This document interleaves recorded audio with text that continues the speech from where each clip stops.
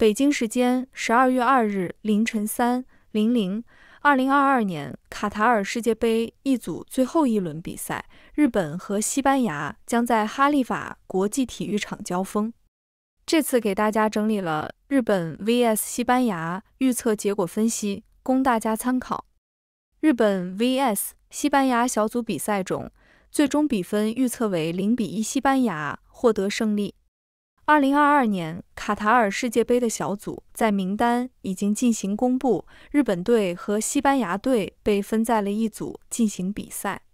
日本国家男子足球队作为亚洲地区里面非常有实力的足球队伍，在世预赛比赛中成功击败了中国队和澳大利亚队，并成功晋级到了本次的世界杯比赛中，这也是有史以来第七次进入到世界杯的比赛环节。日本队本次对战的是目前世界排名第六的西班牙队，在两队的实力来说，西班牙的实力会更强一些。日本国家男子足球队作为亚洲最强的一支足球队，在亚洲区也是参加世界杯比赛排名第二的足球队伍，并且三次进入世界杯的十六强。分别是在二零零二年的韩日世界杯和二零一零年南非世界杯和二零一八年俄罗斯世界杯三次比赛中，日本国家男子足球队现在在世界的排名是第二十四名，在历史最高的排名成绩是在第九名。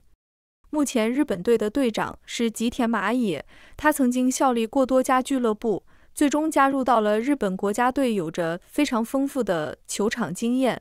曾经在2011年跟随日本国家队获得了第十五届亚洲杯足球赛的冠军。相信他在本次的世界杯比赛中也能发挥出非常好的足球水平，带领日本队获得更好的成绩。西班牙国家男子足球队是欧洲区非常强的一支球队，相信球队在众多明星的价值下，能够在本次卡塔尔世界杯中获得非常好的成绩。本次大名单中，佩德里也在西班牙国家男子足球队中。佩德里有非常丰富的足球经验，在曾经效力的俱乐部中获得过非常好的成绩。并且在2021年获得了欧洲金童奖和科帕奖两个奖项，相信他在国家队参加的第一个世界杯比赛中能够取得非常好的成绩。西班牙历史战绩：西班牙队是欧洲传统强队，球队曾经三次夺得欧洲杯冠军，2010年夺得世界杯冠军。历史上，西班牙队也有着非常不错的战绩。在一九五零年世界杯中，球队最终排名第四。一九六四年，西班牙夺得欧洲杯冠军。一九八四年欧锦赛中，西班牙获得亚军。一九八六、一九九四和二零零二年世界杯球队都杀入八强。二零零六年，球队止步于十六强。一九九八年和二零一四年，西班牙折戟小组赛。二零一八年，球队被俄罗斯挡在了十六强的门外。欧锦赛方面，西班牙近年来发挥十分稳定。一九九六、两千两届欧锦赛球队都打入八强。二零零四年，球队未能小组出线。二零零八年和二零一二年两届欧锦赛，西班牙全部夺冠。二零一六年，西班牙被意大利击败，止步十六强。二零二零年，西班牙则在半决赛中点球不敌意大利。日本历史战绩：日本队近几年在亚洲足坛极具统治力，球队曾四次获得亚洲杯冠军，五次获得东亚足球竞标赛冠军。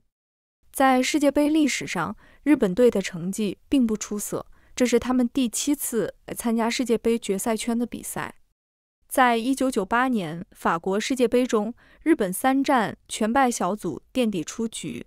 二零零二韩日世界杯中，日本在小组赛二杠二战平比利时，一比零击败俄罗斯，二比零击败突尼斯，小组出线。但是八分之一决赛中，球队零比一不敌土耳其，止步十六强。二零零六德国世界杯，日本再次小组垫底出局。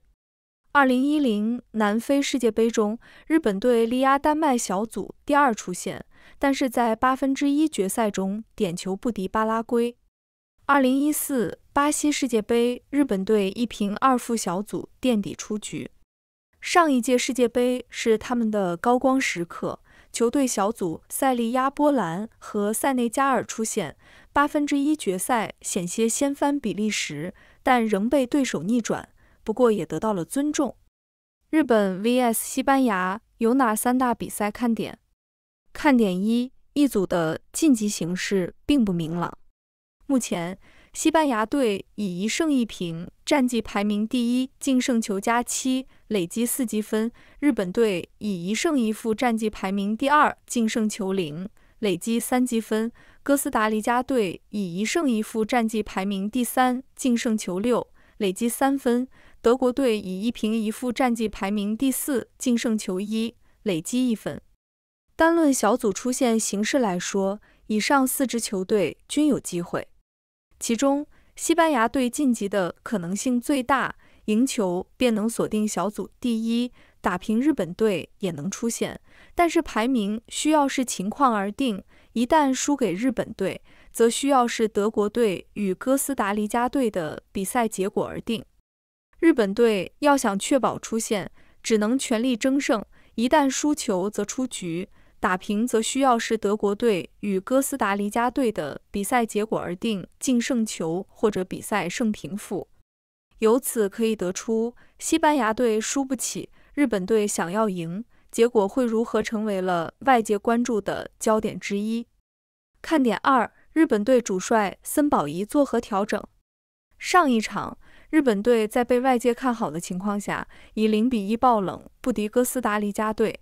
赛后，森保一遭到了日本队球迷的质疑，甚至喊出了“森保一下课”的呼声。那么，此役面对实力更加强大的西班牙队，森保一带领的日本队表现如何？让我们拭目以待。看点三：日本队能否完成复超？赛前。日本队后卫富安健洋在接受采访时坦言，球队想要报奥运会输给西班牙队之仇。东京奥运会半决赛，西班牙队在加时赛中打入制胜进球，最终以一比零险胜日本队。日本队与西班牙队的比分预测如何？一、实力层面，日本队总身价为一点五一亿欧元，位列三十二支参赛球队中的第二十五位。西班牙队总身价高达九点零五亿欧元，位列三十二支参赛球队中的第五位。此外，在现世界排名中，西班牙队高居世界第七，日本队则排名世界第二十四。由此可见，单从纸面实力来看，西班牙队绝对在日本队之上。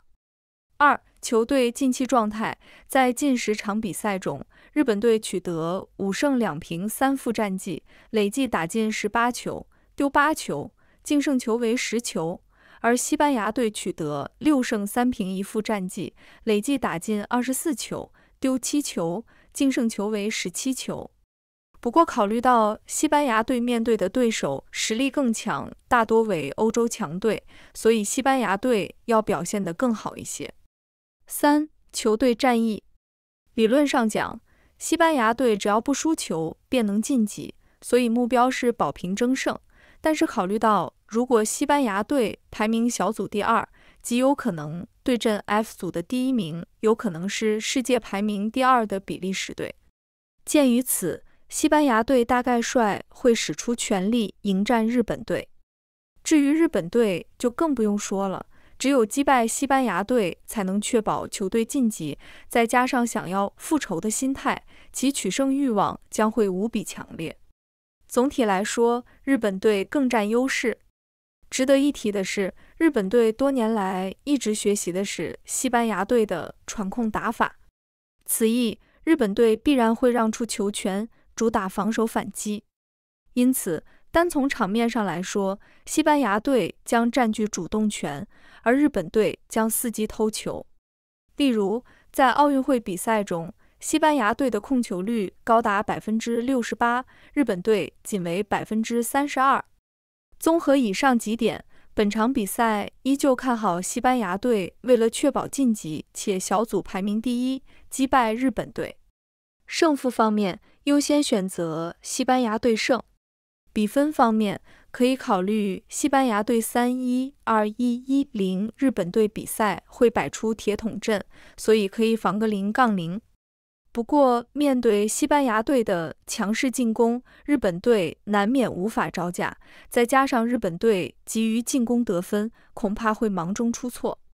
最后想说的是，以上分析仅供参考，毕竟比赛结果会受到很多因素的影响。希望大家理性看待，切不可盲目跟从。那么，你认为比赛结果会如何呢？欢迎在下方说出你的预测。